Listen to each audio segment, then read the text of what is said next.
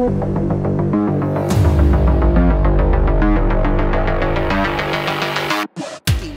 listen to me.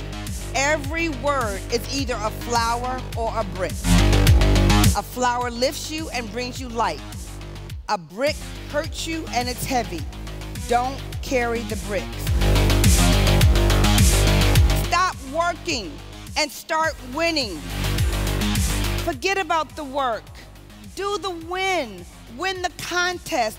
Win everything. Win the scoreboard. Win in this industry. Stop teaching people how to work and start teaching them how to win. Rewrite your story. You rewrite your story because your past does not determine your future, and their decision, yes or no, does not dictate your destiny.